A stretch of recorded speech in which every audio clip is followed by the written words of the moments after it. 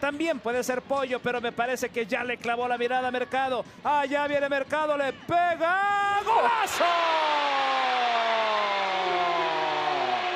¡Gol!